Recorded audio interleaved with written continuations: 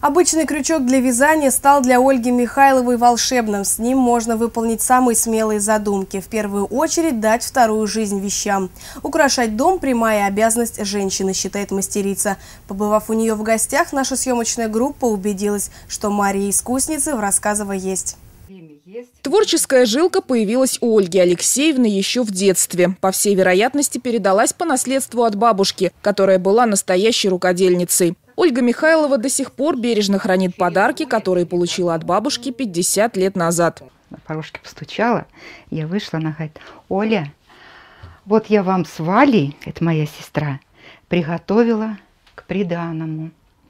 И подает. В общем, в каждом свертке было по две скатерти, вот такие вязаные изделия на подушечке. Это вот к маленьким. маленькие Это маленькие, их раньше называли думбочки. Раньше хорошо заправленная, празднично убранная кровать, она являлась визитной карточкой хозяев, особенно хозяйки.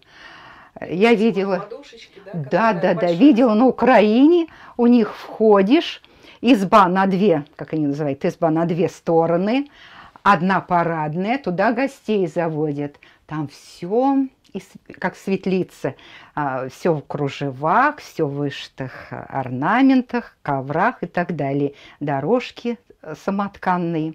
А вот другая сторона, та жилая была. Наволочки и простыни, украшенные ажурными кружевами, были гордостью любой хозяйки и создавали ей репутацию настоящей рукодельницы. Бабушкиными подарками Ольга Алексеевна пользуется до сих пор. Как ни странно, но срок в полвека практически не отразился на их состоянии. Раньше и материалы, и исполнение было добротным, поэтому и хранятся такие вещи десятилетиями, говорит мастерица. История ее творчества тоже исчисляется десятками лет. Всю жизнь наша героиня шьет, вяжет, вышивает, мастерит. Украшает и дом, и свою жизнь. Сейчас больше всего времени уделяет вязанию, а свои крючки называет волшебными. Прихожу, уставшая, и для меня сесть к телевизору одновременно, смотреть и любимый сериал, или э, это, трансляцию с Олимпиады 2014 года из Сочи, одно удовольствие. Я сажусь в дальнее кресло, машинально беру крючочек, беру э, нить, и начинаю вязать. Я даже беру с собой, беру куда-то иду в поликлинику,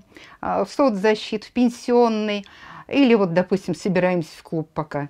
Я беру их в пакетик, брошу крючочек и клубочек. Сижу, разговариваем, общаемся, а у меня что-то там прибавляется. Любую вещь можно не только украсить, но и подарить ей вторую жизнь, считает Ольга Михайлова. Этот яркий платок заиграл другими красками после того, как мастерица обозначила контуры рисунков вышивкой. Появились фактура и объем, вещь стала выглядеть по-другому. Обвязав рукава и горло, мастерица подарила новую жизнь вязаному платью. Крючок вообще очень выручает рачительных хозяек, у которых не пропадает ни одна вышедшая из употребления вещь. Ольга Алексеевна активно участвует в работе клуба «От сердца к сердцу», заботится о здоровье. И в этом тоже очень помогает вязание крючком. Даже в небольшой салфетке может насчитываться до 4-5 тысяч петель. Несколько тысяч взмахов крючком – хорошая разминка для суставов. Но кроме физического здоровья, творчество дает и массу положительных эмоций, а также воспоминаний. На любимое занятие всегда находится время, не говоря уже о желании. Секрет счастливой жизни в любом возрасте, по мнению Ольги Алексеевны, прост и выполним. Как известный поэт Чупачев говорил, вот, душа обязана трудиться и день, и ночь, и день, и ночь.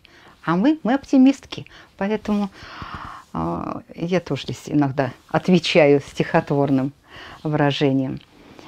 Э, Кто-то скулит на морщинки и складки, а у нас, оптимисток, всегда все в порядке.